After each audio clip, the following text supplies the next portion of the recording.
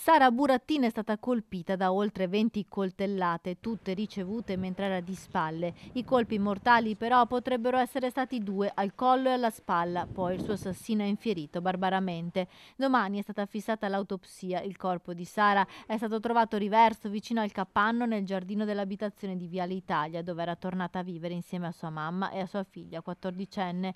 L'arma del delitto, un coltello da caccia con una lama di 15 cm, era accanto al suo cadavere. Dopo un rapporto durato oltre 15 anni, sembra che Sara avesse deciso di separarsi dal compagno Alberto Pittarello, tecnico, caldaista, padre di sua figlia. Solo i familiari sapevano di questa separazione e Sara era tornata a casa della mamma che era rimasta vedova ad ottobre.